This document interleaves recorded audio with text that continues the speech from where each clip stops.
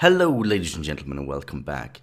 So, you might have understood that I'm, during the summer, gonna do a bit more of an occult focus on different occultic personalities and do biographies on them, much more what they believe than their lives. And I thought, well, to sort of get a taste both what I know and sort of what's out there. Let's do an iceberg on this one. The only issue is with the icebergs, there are two that I found. Uh, this one yeah, I've been seeing and this other one. Now the issue with these ones, I should say myself, they are really, really tame. This is like a 16 year old, maybe 15 year old who first got their taste in occultism and sort of made an iceberg based upon this like initial tasting not knowing that there is a little bit more spicy stuff out there. But as an introductory iceberg, I guess it could be interesting. So we're going to look at the first one I showed you. The second one is actually conspiracy theories around occultism. But the first one is actually people's beliefs. And I think this one we can actually learn something from and see what we can focus on in the future. And also give you an explanation of what the hell some of these things are and a bigger understanding of it. So there are seven levels, as you can see from normal, I guess, above the iceberg, normal man, to someone interesting to you become a fish. the thing is with this one, uh, person I would say, why are some of them that low? Why is Wicca all the way on top? And then like, I don't know, like Hindu nationalism. Like what? Learning Greek? What? Poor Greek people. They, they, they are the, they are the fish people. All Greeks are fish people. Who who could have thunk? Joke. But let's actually go layer by layer. Let's see what it is here. Level one. I do want to point out something before I really start here. Occultism is usually defined as Western mysticism. So eh, there will be a lot of non-Western mysticism here, which shouldn't be defined as occultism, but you know, give them some slack. It's a definition that is so broad and really doesn't have a good definition to it because it, eh, what the hell is it? But usually it's Western occultism. But now, all right, let's start here one by one. Reading the King James Bible. All right, so this one's actually a bit interesting. Again, it's gonna be interesting quite quickly here. It's not occultism, yes, but the King James version of the Bible is such a odd book. It was one of the first translations to English in. Uh, of the Bible, if I'm correct, in 1611. But the thing is with the King James Bible, it's a lot of. He took in a lot of liberty. Sort of like the, the Catholic statement of saying, do not translate to your local languages because it will ruin the text and what's in it. The King James Bible is such a good example of the Catholics were correct in this one because there's a lot of. Errors in it. Now, don't think wrong, me saying this will make people fucking furious. They want to hang me for that type of statement because many people view the King James Bible as one of the better Bibles. But trust me, uh, it's it's garbage. It's a garbage translation of it. uh, it's rude, uh, rude of me saying that, but it's not great. A lot of newer sort of Protestant movements or uh, people who were allowed to read the Bible themselves, they've created their own religions based upon this Bible. Uh, hell, I mean, most Protestant occults, oh, uh, sorry, most most most Protestant concepts comes from this damn Bible. This damn Bible has created so much tearing within Protestantism. Now, just to defend this Bible a tiny bit here now. Yes, I'm rude to it because I don't like it, but there's a lot of other translations that are even worse. So, while it's, I personally don't think it's the best translation, it's still not the worst translation. Trust me, it could have been a lot worse. The international translation of the Bible also has some errors in it. So there's going to be errors. Uh, so it's going to be sort of a debate thing. This this this text or this text, uh, that phrase or that phrasing. So it did its job in some sense for its time, but I personally think we should go beyond this by this point. But uh, again, it's it's really liked. Protestantism. I won't dwell on this too much because it's nothing really to do with the cult. I just want to say it's a it's a reformist movement in 1500s that escalated to its own religion within Christianity. The split off. It was multiple people within this. Luther is usually the one they define as the most important one because he sort of, in ways, started it. But trust me, there are so many reformers. And this reform within the Catholic Church has been in debate for over 300 years before the Reformation happened. It's just that uh, it was at the end there. And Protestantism came from that, the Reformation. But yet, the, the issues within the Catholic Church has been numerous for over 300 years, and debates have been happening for over 300 years. The thing is, the church doesn't like to change, so the radical people have to come along, and you know, it's very bloody. It's very bloody. This sort of reforms. Uh, but the funny thing is, you can actually look back and other sort of reformist groups before the Reformation, and see how they were uh, casted out quite quickly. But it's always been the issue with Christianity, sectarianism always like split, split, split, split. Oh, you think Jesus knows like that way? I'm gonna split, split, split, split. split, split. Oh, divine being, not divine being, double divine being, split, split, split, split. it's always been this way. Pantheism. Now, this is a concept that is more and more getting normal in our society, and it's a very ancient thing. But it's sort of that reality is God. We're sort of like God representing of reality. So the, why I'm saying it's of common now is when people lose God, but they usually say, mm, God is, you know, I still believe in God in some sense. It's like, oh, what is that God? Well, I think God is maybe everything, nature around us. It's like, yeah, that's pantheism. That nature around you, everything is the divine. Sort of that everything that exists is God. Reality is identical with the divine. Wicca. Okay, I don't know what this doing up here. It feels like it should be way below. But Wicca is a neo-pagan concept. It came from England in the 50s. So the reason why I also say it shouldn't be this up top, there is also something called neo-Wiccan. Uh, because Wiccan still has a sort of tradition to their worship, you know, pagan worship. They have rituals and things they have to do. But Neo-Wiccan, for example, they don't follow a set of core beliefs that Wiccans have or rituals that Wiccans have, and they choose their own pantheon which is very fascinating. They can choose their own divinity, they can choose their own god. So there's a lot to this. But in a way, if you just take Wiccan, I don't it shouldn't be up here. Should, there's so much more to it. But yeah, there's a lot to Wiccanism. I, I don't really know where to start in this one. I can tell you that uh, a Neo Wiccan once did a ritual for me, which was really nice. She broke some eggs and crushed it and said a prayer to it, and sort of giving me luck, I think. I have no clue what the heck she was doing. But I did enjoy she was doing sort of a ritual towards me and sort of a thing to me. Now, some Christians would say, that's devil worship. They use a lot of pentagrams and they use a lot of things that would be defined as uh, satanistic, but they, they, are, they are nothing in common with each other. A pathetic anti-theism. I don't really know what to say about this one.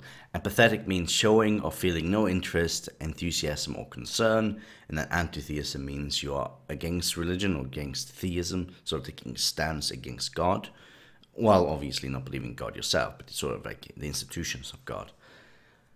Uh, so, I guess you take a stance, but you don't give a damn. What? this one is just weird.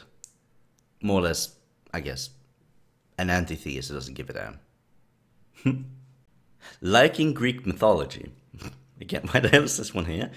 Yeah, you like Greek mythology. You, you, you've seen Hercules, you know, Disney movie Hercules. Now you're, you're a fan of Greek mythology and you read it. Eh, okay, what the fuck? What am I supposed to say about this? yeah, good for you. Good for you.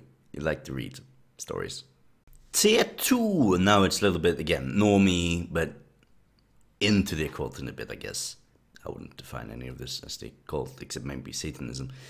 Eh, alright, let's go.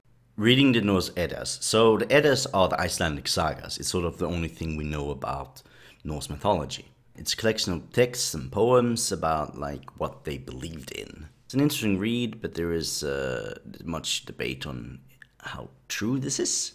So how true it is to old Norse mythology, but we don't know much. We only know what was written way after the beliefs were already in place. So, yeah, again, the issue with these people, they didn't write much. So, yeah, Catholics. So something that's quite obvious that with this uh, iceberg, these are from a Protestant sort of family because otherwise Catholics wouldn't be there and would be in the top one. But yeah, but Catholics are, pff, Catholics, I'm not going to go into this. There's no point. a lot of Protestants, for some reason, don't believe Catholics are Christian, and the reason is they don't believe in the Bible. I know it's silly, but Catholics have their own tradition. You know, they don't they're not Bible thumpers. They don't go into detail of the Bible. They have a tradition around the Bible more than the Bible itself. So a lot of Protestants, more you know, again Bible thumping Protestants, like, oh, you disagree with this one line, therefore you're not Christian. Eh, who gives a shit? Fuck you. Biblical history. So I'm guessing this is just people who believe in the Bible's history, so 100% correct. So there's a lot to that. Then, if you if you do believe I think around 6,000 years old, uh, our Earth and the entirety of the descriptions in the Bible is true. It's a spicy one. Humans lived for quite a long time, and a lot of people died. A lot of incest. A lot of incest. Mm. but yeah, so you believe in the, the biblical history. I'm not going to go into this. I read the Bible. it's just so much to this. It's just yeah, I, ironic LaVeyan Satanism. So yeah, they follow LaVey's form of Satanism. Yes, a gaff, a joke, fun, haha, um, edgy. Yeah, I mean LaVey kind of formed his his thing way too edgy. It's just it's just atheists who doesn't like the church, so they go like, oh well, here's a Luciferian concept of rebellion and focusing on your ego, sort of the left hand path of occultism. The left hand path is more focusing on the self, the ego, one's own hedonistic wants. The right is focusing on ritual, on the status quo being, following orders, sort of see like God's right hand path and his sort of laws of the universe. You follow it fully. That's what you believe. The left is sort of like Lucifer's own ego. You follow your own will, your own want. And LaVey is sort of like LaVey's entire focus in do what you will, do what you want, do whatever you want. As long as it doesn't hurt other people, I guess, but do what you will. Roman mythology. Now, I usually say there are two sort of forms of Roman mythology. Usually, you have a deity based upon, you know, something in the world, like God of War, rest of that. But usually, it's a deity for every city. So, a city has a deity that protects the city, which you pray to and sacrifice to. But in the later Roman era, you had Sol Invictus. You had to focus on one god. But this is not one god, it's like he's the only god, but it's like a, representation of all the gods in one being. The other gods can still exist, but he's a representation of all the gods. This later went into uh, Christianity. This is why they could actually accept Christianity later on, because Sol Invictus was the dead Jew on a stick. uh, so it just made sense for them. Uh, but yeah, Roman mythology is cool stuff. You know, a cult of Mars, everybody follow Caesar. Yeah. Western Buddhism. Alright, this is a very watered down Buddhism for the Western folk. So there are different traditions that Western Buddhism came in. Uh, some of this should be further down, to be honest, but I guess maybe there is some. But uh, see it as like Buddhists coming to the West, sort of revoked a new tradition. Usually, New Age is focused on this one, and a lot of white women and beta white males, sorry, was like, "Oh, this is interesting. Let's go hum a bit," and the theology is actually very watered down. So it's, it's, it's yeah. Just want to quickly point out there is more to this. There's a long history of Buddhist and Christians and Western folks interacting with each other. But I think people who usually define themselves as Western Buddhist or within that mindset isn't the Buddhists themselves. It's again it's sort of the watered down white woman Buddhism. Again, I'm not shitting on real Buddhists. It's nothing to do with them. It's just a watered down version of it. That's how I view it, at least. Yeah, here's tier three. It's a it's a mix of things. I don't really understand how why some of these are here. But again, whoever made this is uh, is probably quite young. Hellenism. There are Hellenists alive today, especially in Greece, that still try to upkeep their tradition. Now, the only issue that these people have, a lot of the former holy sites for Hellenism is uh, you're not allowed to go there. They are like historical sites or museums, so they have to usually do it in the parking lot outside of uh, these places because there are areas that are specific for certain rituals in the year, and you have to sacrifice your your your fruits and veggies there. So it's a lot of hard things for them, and I'm not. And if I'm correct, it's until very recently, sort of Greece accepted these Hellenistic rituals to become more and more okay, because mm, it's always going to be conflicts. But yeah, Hellenism still alive today, still kicking, still trying to do things, but not allowed into these sites. So it's conflicts. But Hellenism also is live on the internet. You can find Hellenistic groups, you can talk to them there, but it's usually about, you know, sort of in the pagan concept again. It's your your folk, your tradition, your areas. But they're still active on the internet as well. You can talk to them there. Cool guys. Studying the church fathers. All right, so again, this is written by a Protestant. This is usually not uncommon to do, especially in Catholicism. Here is where tradition usually came to be. So I, I, guess the edgy thing here can be, depending on what church father you're talking about, like that might be the edgy thing. But yeah, but Augustine of Hippo, for example, is one I personally like a lot. So it's sort of like the guys who set the framework of Christian tradition for the early church, which later became, you know, influential throughout Christianity.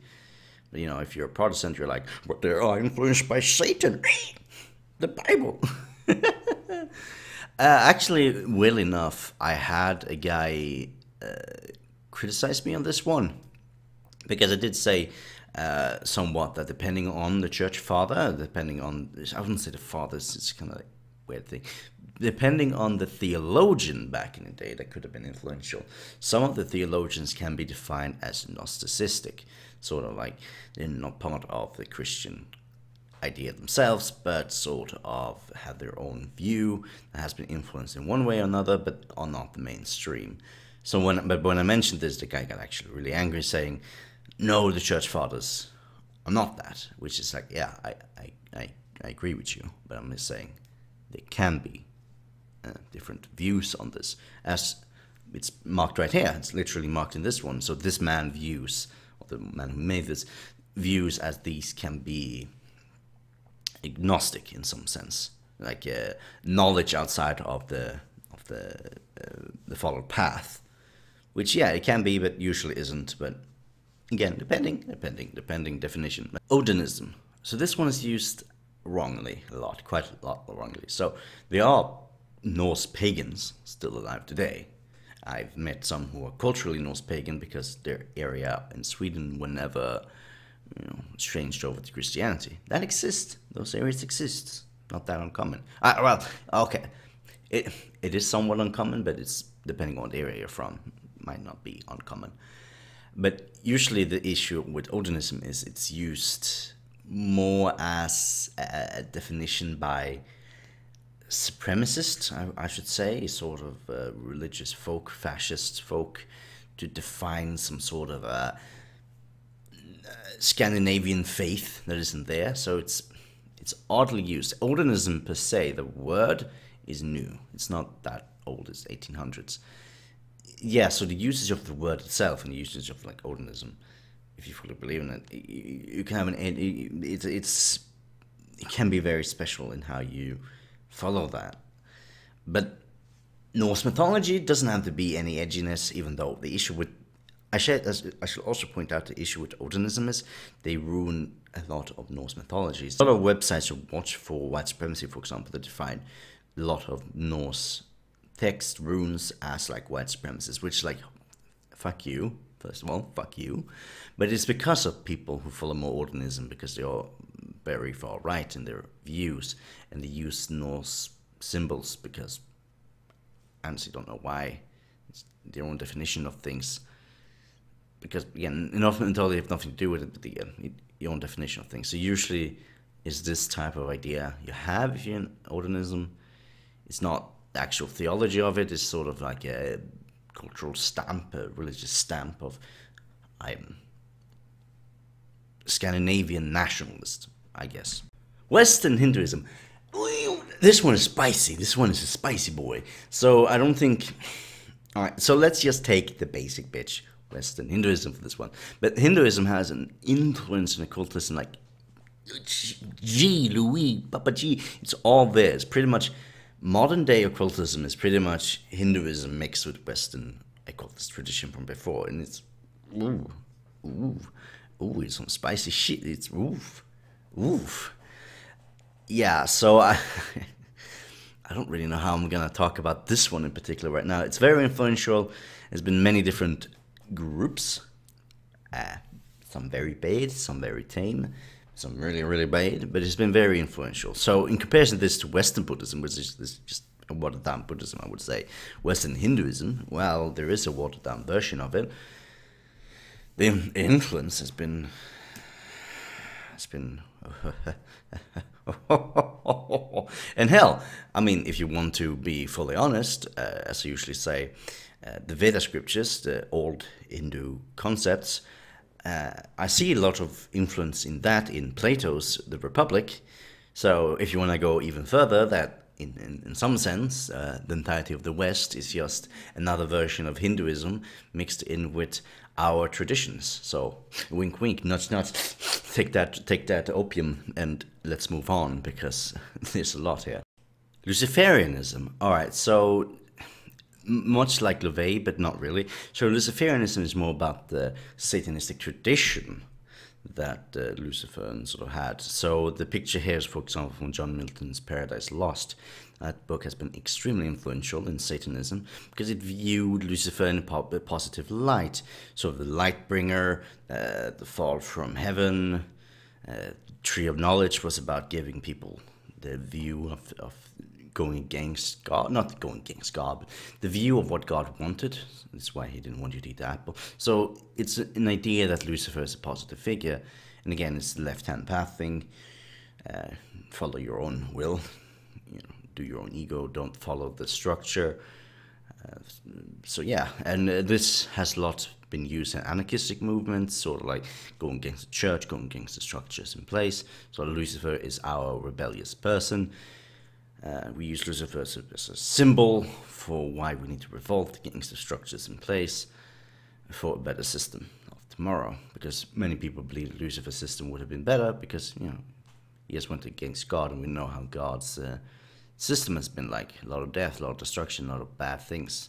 But Lucifer could have given us that uh, um, better system, better world, not as much death and suffering. So yeah, positive light of Lucifer. Eastern Orthodoxy. Why is this one here? It's like, goddamn, it should be up. It's just, it's a schism that happened back in the day in the church, split up into two, the Catholic Church you have, and then the Eastern Orthodox Church. Eastern Orthodox Church is not like a united church, it's different churches, usually based upon uh, you know, the nation you're from. Um, you know, a lot of traditions there, a lot of different. Uh, one big thing that is very different here, there's no personal connection with God, really. So let's take uh, Sunday sermons. Uh, church, uh, the, the, um, the priest goes into a hidden room. There's a wall in between. The wall is usually rather thin and there he does his prayers. People can hear him do the prayers, and they pray towards this room. The point being that God is in this room, or God is sort of like the divine is not maybe not present in the room, but it's sort of a connection with the divine in this room. And not every person should have this connection with the divine, but you pray towards the divine. And they also have a lot of uh, uh, pictures on the walls, and this is also because of a tradition of anti, oh sorry, ecumenicism. I think it was Catholic kind of whatever. The idea that there should be no pictures at all in the churches. So that was a big thing back in the day. So the, the and the Orthodox Church kind of went against the idea of not having pictures, so they just put on a lot of pictures instead. So it's like they have their own tradition, but they're not they're not any odd people. They're just different sort of Christian. The theodicy. So this one, I don't get what this one is here. So it's a question or an answer, I should say, on the problem of evil. So uh, a big problem that a lot of Christians have to answer is how can evil exist if there exists an all-good, omnipotent God? How can an all-good God allow evil to exist or evil to do their thing? How can, you know, a good God sit by while babies die of cancer? Or die at all, rape happens, or whatever, you, you name it. Uh, and the thing is, honestly,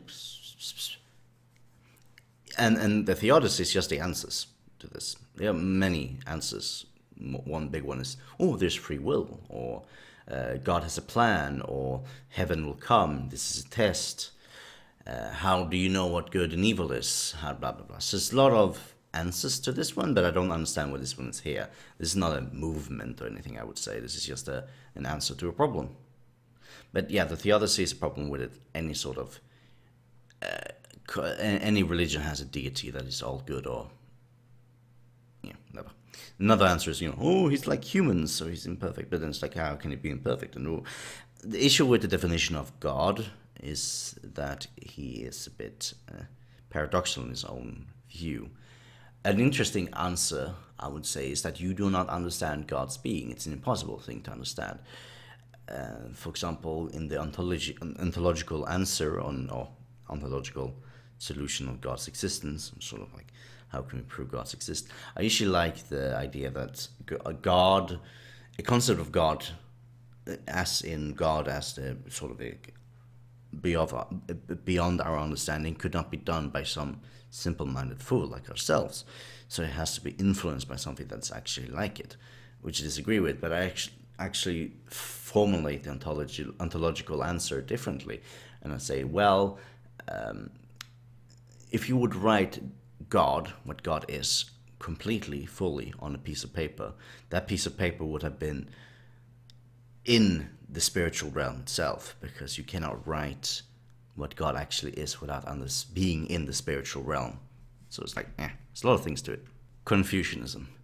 Confucius said, no, let's not go into that. I don't understand why this one is here. I don't know. It's pretty much telling me that all East Asian people are weird, which no, maybe this is like Confucianism in the West. I call it West. That is odd, but honestly, I know nothing of it. Uh, for me, I don't know what's here. It's barely religion. It's more philosophy, but it's very influential in the East. But we're not living in the East, and occultism has nothing to do with the East. So, chaos magic. So this one is newer. Chaos magic is a bit newer. Magic or magic, whatever, has existed for a long time, especially when occultism, but chaos magic is more based upon yourself, your uh, own being. So it's a representation. It's a you do magic as a representation or for a representation of your well-being. And usually, yes, you can see I love magic, sex magic, wealth magic. It's for yourself, and uh, sort of it's a magic. Yeah, it's a magic representation of yourself and for your own well-being, your own relationships, your own life. So not so much to do with chaos, I would say. Like when I when I first read chaos magic, I was thinking about like Warhammer. Chaos, I should say, come is also sort of related to the word Kia, which is used within chaos magic. It's a uh, your subconscious in a way. So it's like you you pray magic for your consciousness, your individual subconscious, conscious, to become better. Give it a path to become better. Pantheism is the idea that we are within God itself. So, well, pantheism, and we talked about before, is that everything is God. But now it's like God isn't deity of itself, an entity of itself, but we are within God. We're within the, the deity that is God. But see it as a lot of like the simulation, like God. God is beyond the universe. God is bigger than the universe, but God is also the universe. So it might be the computer. The computer is actually a good example. Like you play Minecraft in the computer. The Minecraft is the universe, but the computer uh, is also God. So God is both Minecraft, the Minecraft you're playing, and its own entity. And the question is how many how many universes exist within God? I saw that I missed one, Orthodox Lutheranism. So yeah, Orthodox Lutheranism is just Lutheranism when there wasn't really a set belief, set core within Lutheranism. So it had its own tradition, own little path it went. It died out, uh, like lasted for about 200 years, but sort of like a Lutheranism away from today's Lutheranism with its own traditions and own ideas. So uh, I don't know if anybody still believes it. I found one Facebook page which gave me this Amogus meme, but it's more of a satire on Lutheranism, sort of complaining about uh, modern day Lutherans being a bit too nice, I guess. So, in a way, it's I guess it's you can define it today as sort of uh, infighting between Lutheran Church or being more traditional versus being more liberal. tier four. This one is odd. In here, we're actually starting to get the occultism, but we also get two weird ones learning Greek. How will I? I will skip that. All right, I will skip learning Greek. I don't. It's just a silly thing. I don't know what to say about it. but yeah, tier four, more into modern day, normal sort of occultism. Not anything weird yet. Taoism. Why the hell is this here? It makes no sense. Why is it here? it's another East Asian uh, religion, sort of living with harmony, one with harmony.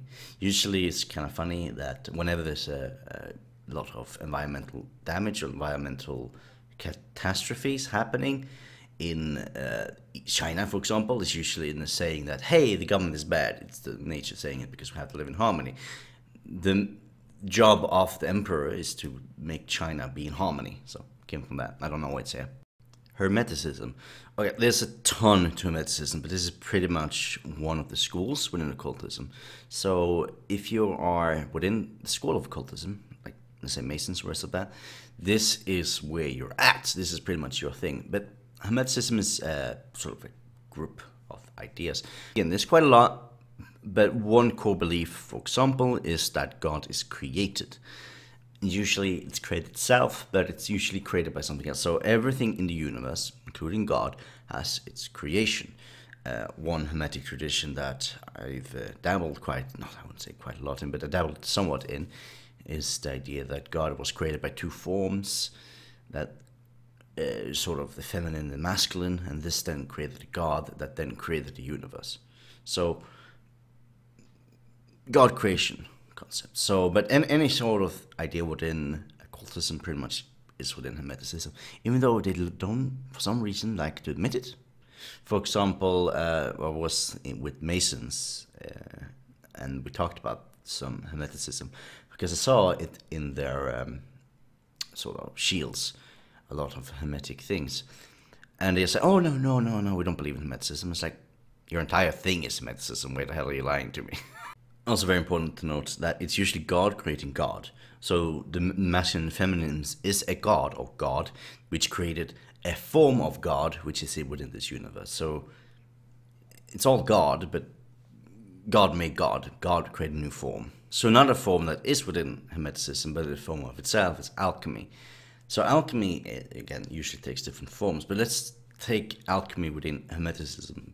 Hermeticism still is from the Hellenistic era, Hermes, uh, messenger, comes from that. Uh, so a lot of uh, planets as a representation of a force. So one thing within alchemy, for example, is you can do you play around with. you always do like it's it's always like powder. You play with powder or spices or something like that. You can crush that, burn it, and see what sort of sign it gives. Let's say after you burn certain types of powders and it becomes red, it's a representation of Mars, which is a representation of another sort of emotion for you or sort of uh, how things are.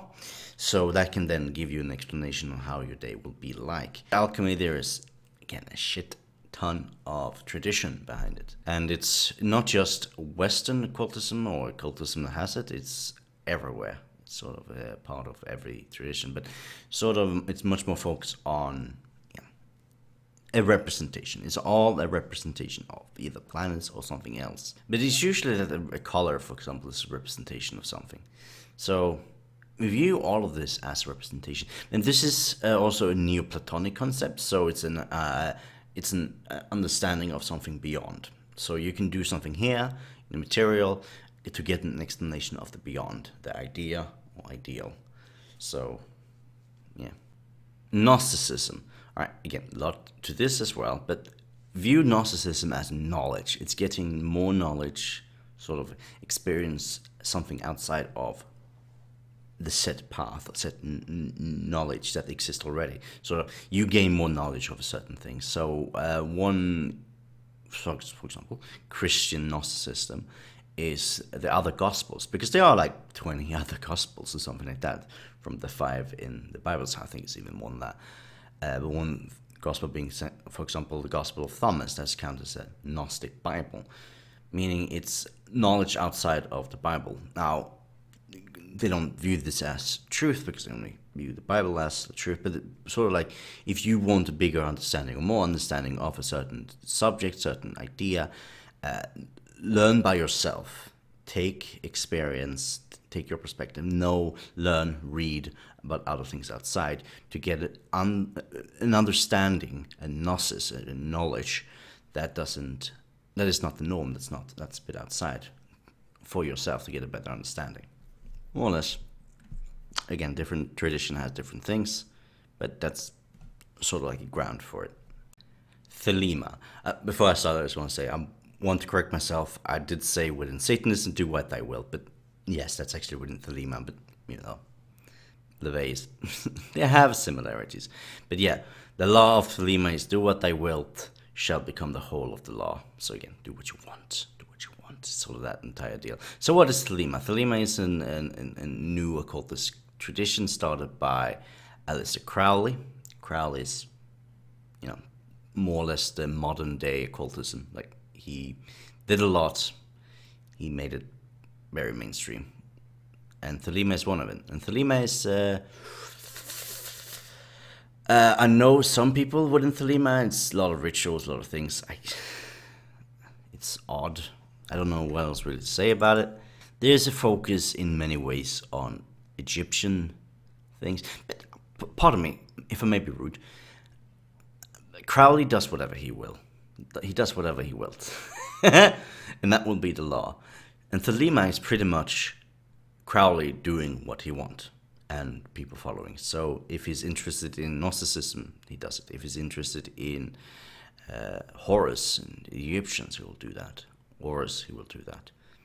It feels way too much of it, but it's a it's a combination in many ways of a former occultist tradition based with Crowley's own concepts and rituals, and they have their own rituals. Crowley experimented a lot with rituals throughout his life. He went to different sort of occultists, uh, like Ordo Templi or Otto, uh, Hermetic schools, you name it, he was there. He tried different rituals. He tried summoning demons within humans, and uh, a lot of this later went on to Thelema, where he con constantly has tried to uh, rebuild it, basing it more on Egyptology, because Egyptology was a was a thing that was really really popular during the time. So it's it's a mix mash of quite a lot of uh, occultist pagan Egyptology, you name it, it's there within uh, his idea. So it's love, but it viewed as ritual based. It's uh, because most occultism view themselves on the rituals. So you have to look at the rituals themselves. Now I don't have any rituals in front of me, but there's a lot of lot of crazy, crazy, wacky rituals. Uh, but yeah, Thelema is is what it is. But in the end of the day, Thelema is also in in many ways everything we talked about previously in one form. It's there. It's his, his idea. So Wiccan is there. All of that. pagan, Norse, blah, blah, blah. All there. All there within Thelema. Unironic Luciferianism. I'm not going to say much about this now. It's more or less... If people can follow uh, Thelema, then people can follow LaVey's theology as well. Again, LaVey has a theology built up, he has an actual religion built up. Some people actually believe in it and not just doing it because egoism and left left hand path, but actually doing it because they believe in it. The, the theology is true, or the form of uh, what is represented in many ways are true, so they just follow it. So I don't want to talk about more than that because there's nothing more to say. I mean, I could sum up what Satanism is, but that would take 20 minutes. Mitranianism unsure exactly if this is within occultism, something unique, but is uh, a god within Zoroastrianism.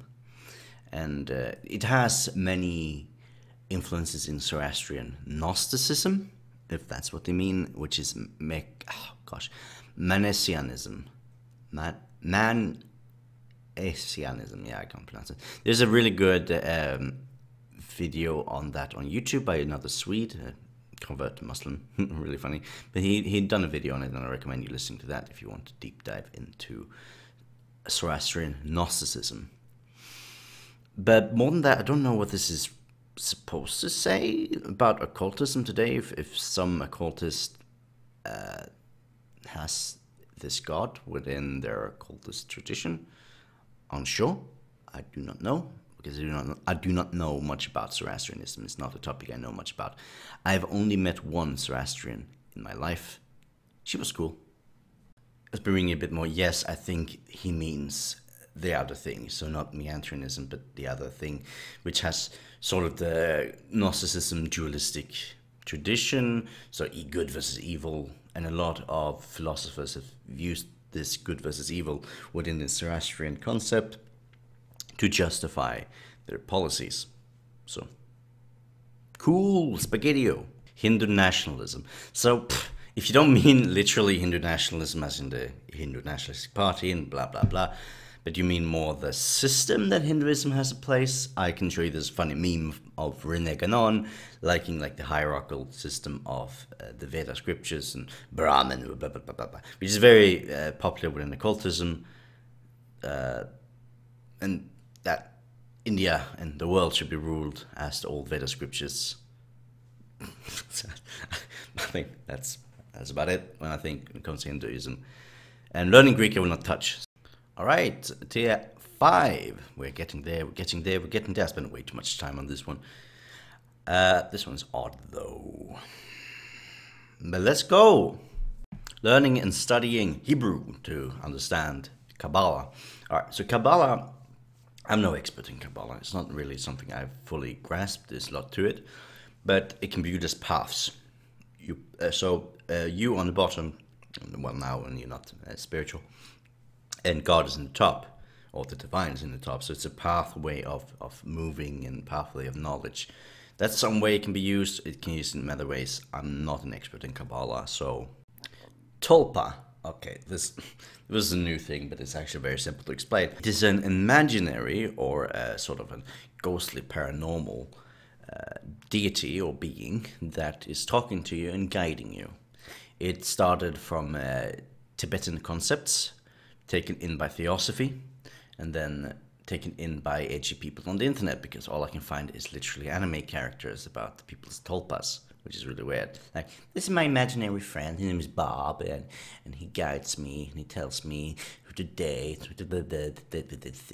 It's an it's, it's, it's a ghost. It's a, it's a ghost or an imaginary friend that guides you through life. Maybe ghosts, probably ghosts. See it as a ghost friend, a ghost from another dimension telling you who to date. yeah. Heinrich Camillus Agrippa. It's an old occultist person uh, from Germany in the 1500s, right before the Reformation. Sort of, uh, he's he built a lot of hermetic tradition, hermetic occultist tradition in Christianity, which is used by sort of the mid, mid Middle Ages, sort of uh, occultism. So he's a, he's an important person for old occultism. Ah, no, he wrote multiple books on occultism, on magic, on philosophy, important book within occultism during the 1500s. Gregorian demon worship. All right, so I'm having a bit of an issue finding anything about this one. I found one weird page that I don't know if they mean, but I'm actually going to read this here. Satanic Catholic Georgian Calendar. This page exists to warn Christians of the dangers that can found in Satanism, the occult and Satan's many earthly holidays that have been sold to Christian as Christian holidays. Yet they are rooted in paganism, idolatry, and Satan worship. Many of these Christian holidays are sold to the masses by making them a fun for family, candy, dressing up, romance, lust, food, and tradition. Satan's, Santa Claus, the Easter Bunny, Halloween, etc., have permeated society and even captured the homage of practicing Christians that do not see the danger in submitting Satan's calendar and holidays. I doubt, I strongly doubt it's that, but I'm not really finding anything else here.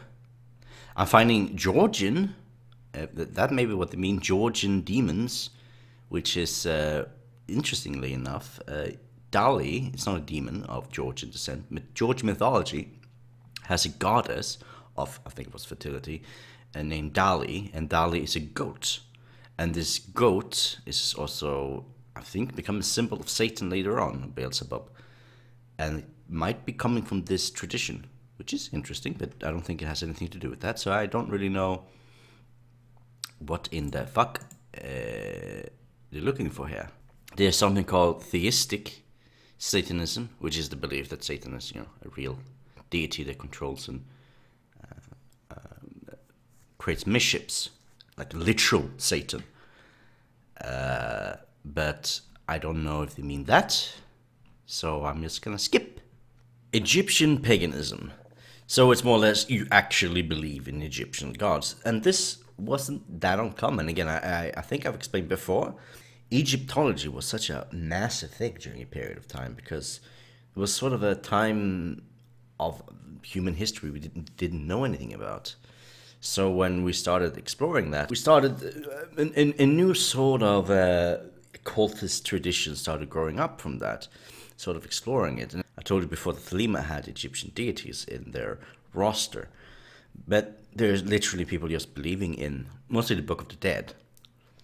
Uh, you might have seen the series American Gods, or read the book, obviously.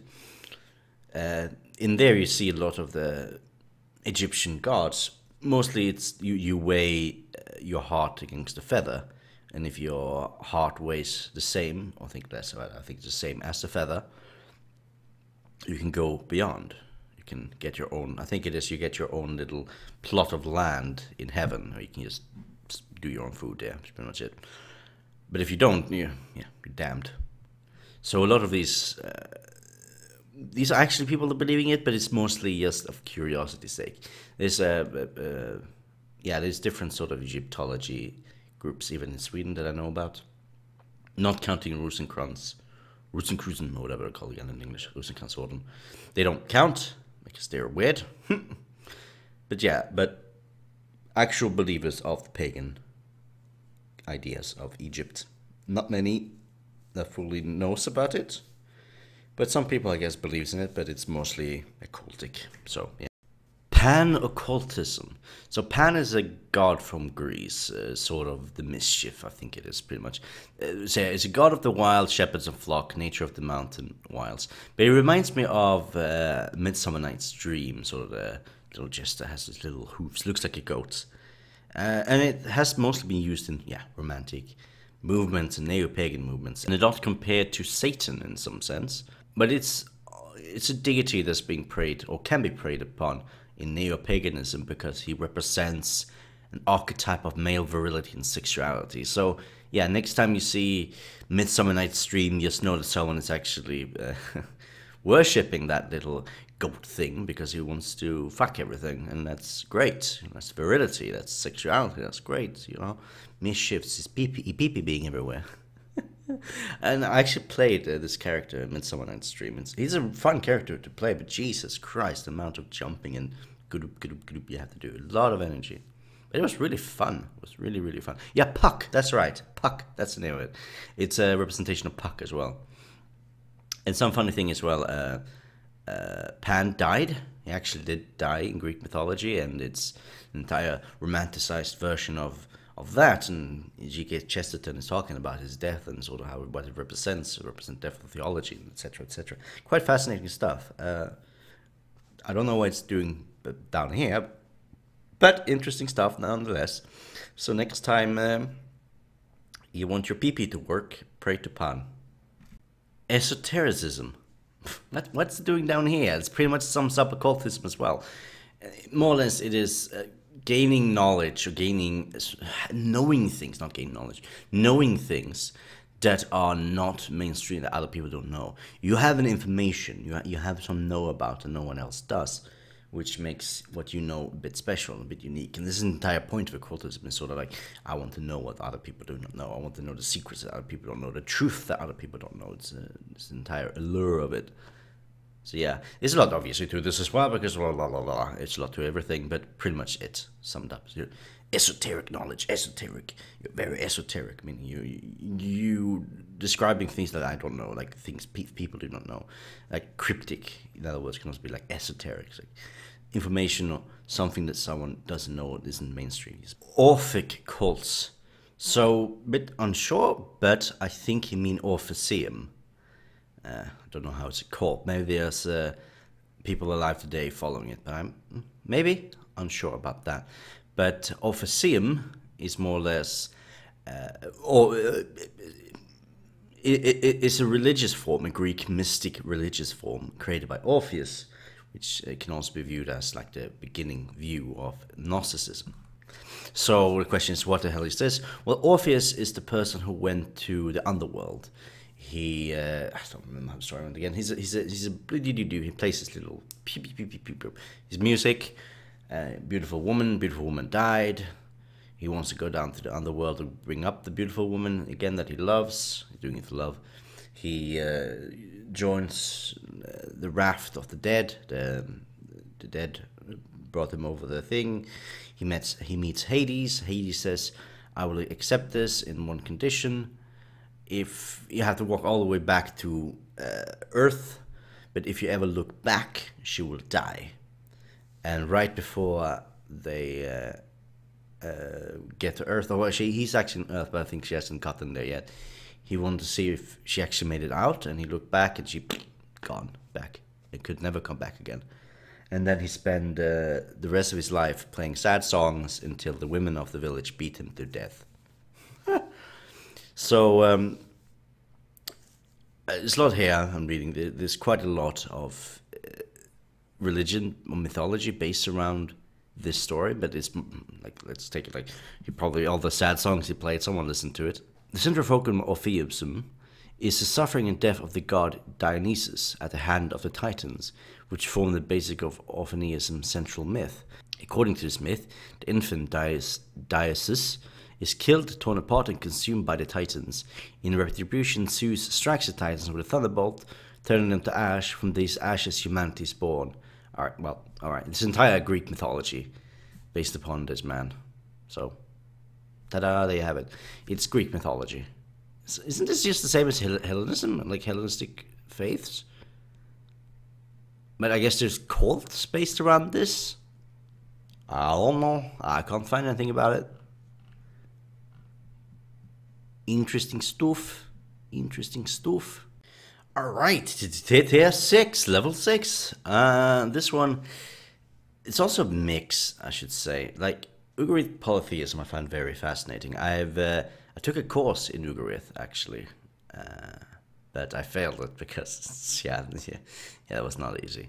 Uh, Vodun, I know something about Spinoza and Jungian, sure, but it's just seems like such an odd mix. It's like why would you have hairy like big bushy beard if you if you know about Vodun? I don't get it. Anyways, let's go into it. Because I mentioned Vodun, let's start with Vodun. So Vodun is a West African voodoo sort of uh, religion. Uh, specifically, I think I think it's like south western, so it's like Benin, Togo, like west of Nigeria, more or less.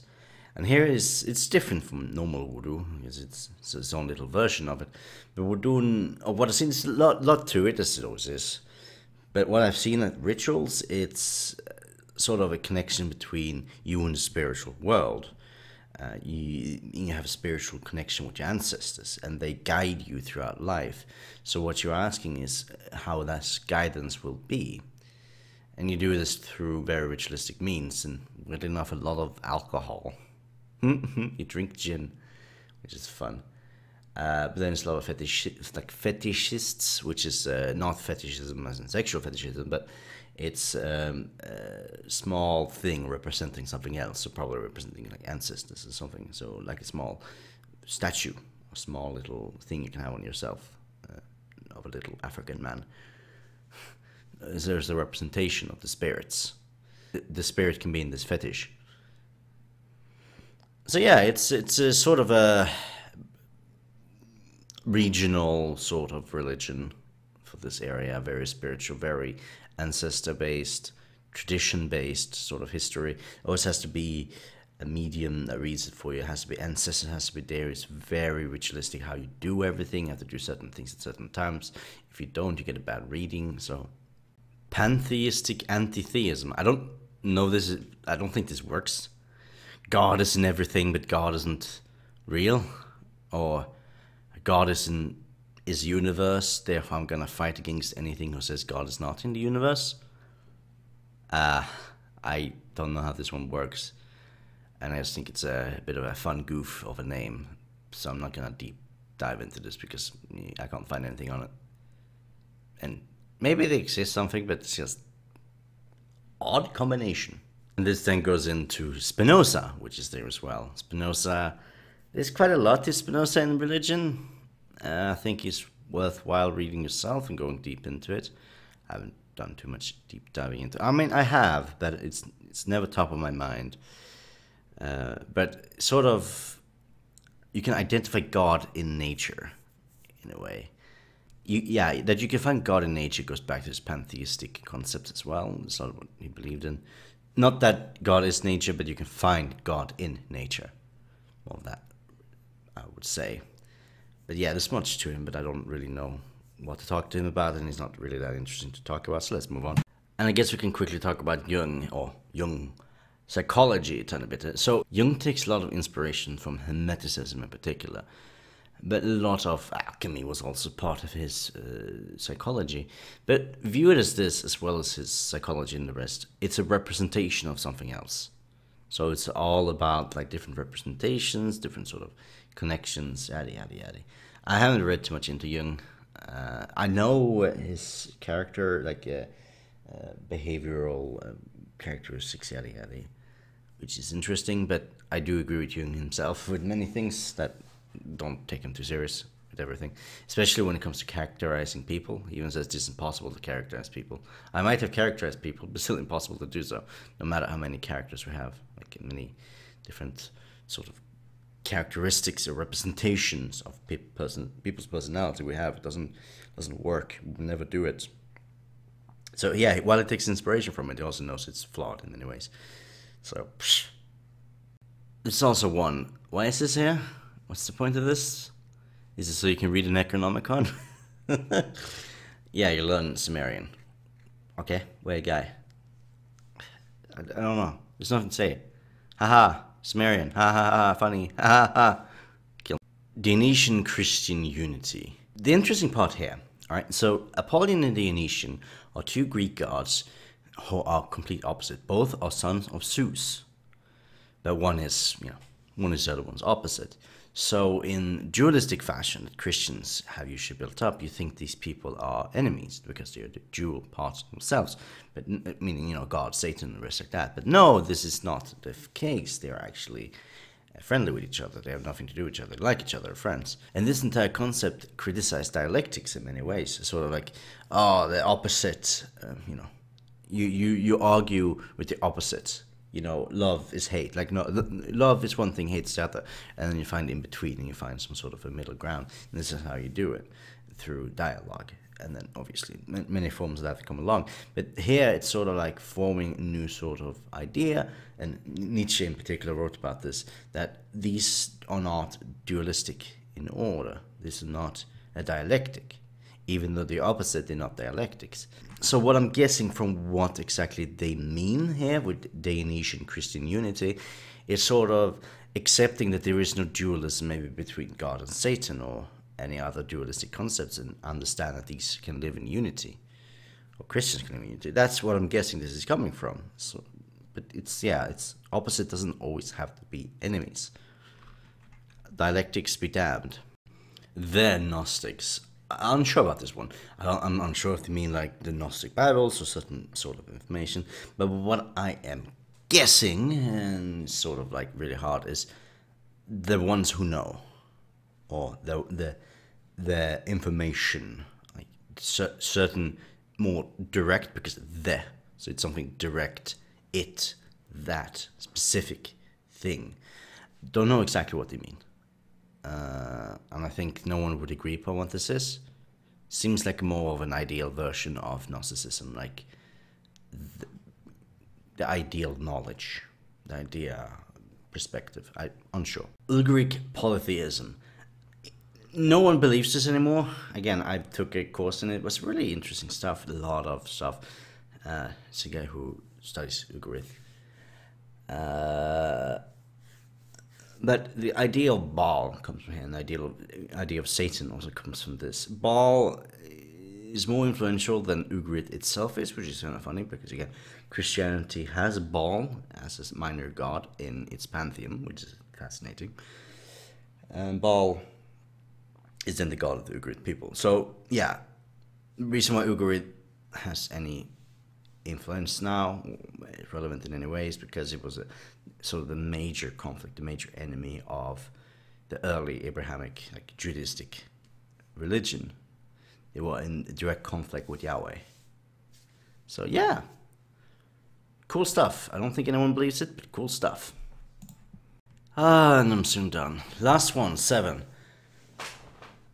Uh, there's some I could talk about here for quite some time. The other ones,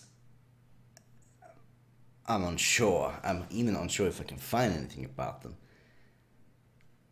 But we'll see. We'll see. I'm soon done. I feel done. It's been an hour. Jesus Christ. Hope you like this. I hope I get enough enough information. Like again, this could be easy, like multiple hours if I.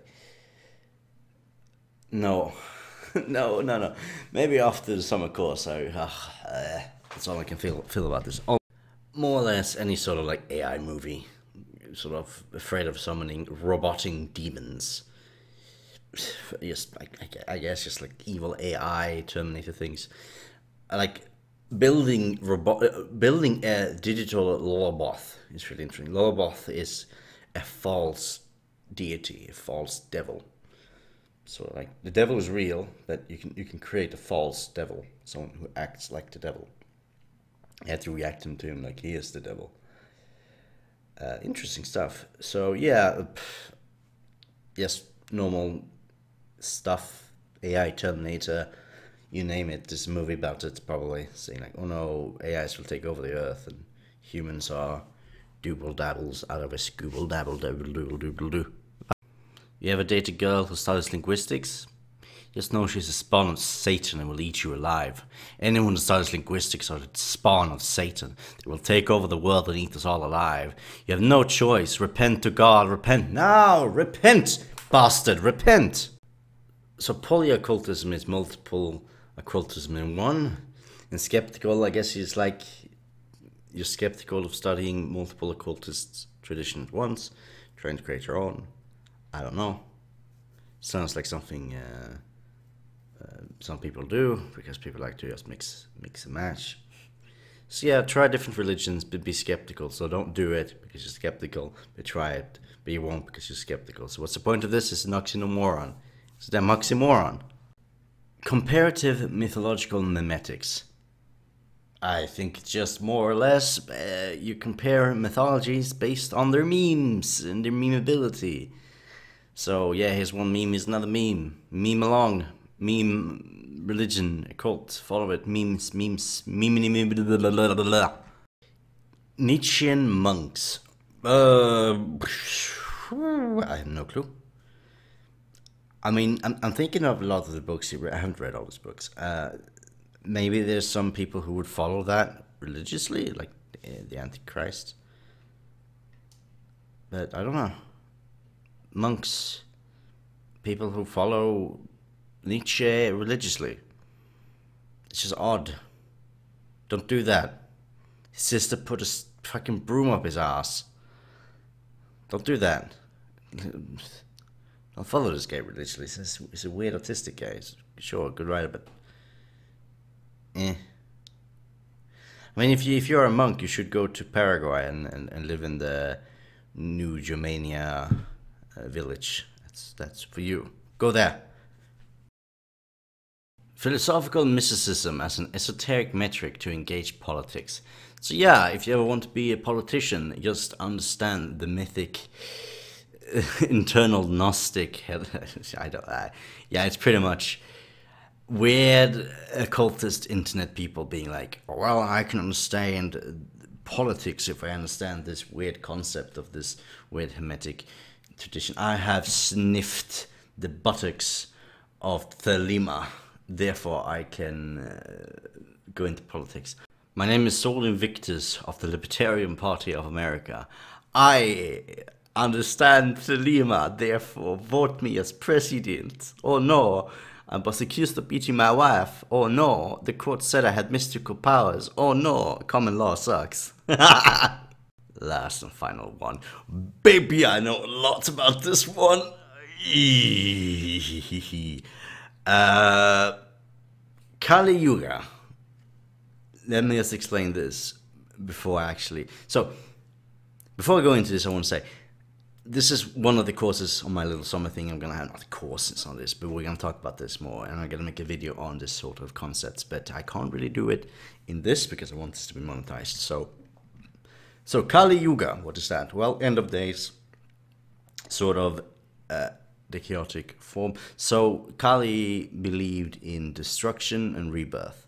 She's the god of death, more or less, but she's not a bad guy. Like she would be like Satan of things, but she's not the bad guy. She believes through destruction comes rebirth, through the ashes rebirth, and uh, she lives in recycling constantly, like uh, the human humanity. It's constant recycling destruction, rebirth, destruction, rebirth, destruction, rebirth. And Kali Yuga accelerationism is this exact thing, but we're accelerating the chaos. So uh, this is very influential in the West for the moment. Uh, a lot of groups follow this. A lot of group has been infiltrated by these types of concepts who wants to destroy and destroy and destroy and destroy. And the thing is, these are apolitical. Well, not apolitical. They're in the political extreme. They're apolitical themselves because their entire goal is destruction. So they will infiltrate Marxist groups, right wing groups, Greenpeace groups, like Green Movement groups. The entire point of them is destruction. And uh, trust me, it's very visible. It's more and more starting to show up, and it goes with this accelerationism as well, which is not the actual definition of accelerationism, but it's the it's the botched version of accelerationism, which is which is gotta go fast, gotta go fast. But so a lot of these people take influence from, let's say, uh, Zizek. Uh, for example, uh, uh, a lot of his ideology, even though you might disagree with me, but it's sad very true. A lot of his ideology pushes terrorism, pushes sort of that sort of uh, uh, accelerationist growth, uh, which is bad stuff. Together with uh, Devi and a few other people, which I'm going to talk about more in the future. But again, it's it's very controversial things. But yeah, this Kali Yuga accelerationism is very active in the West right now, very pushy. A lot of groups has it, but it, it well enough also goes into Satanism. But its entire point of it is Kali Yuga. It it it comes from uh, Gnosticism in the West, influenced by Hinduism, as everything is in the West, and um, after Hitler lost, a sort of uh, uh, failure. Uh, mentality started growing up instead of like instead of losing we should destroy everything uh, you know even Hitler himself said this it's like the the Aryan race has no reason to live if we lose so uh, yeah not good stuff so this is entire concept of it it's yeah yeah it is what it is but the entire it, accelerate to chaos yeah so that was it. A bit vaguer than I expected it to be, but it's kind of like, you know, I think it's a young kid, Protestant, or like former Protestant kid who wrote this. Because there's a lot more juicy things within narcissism. This doesn't really cover it.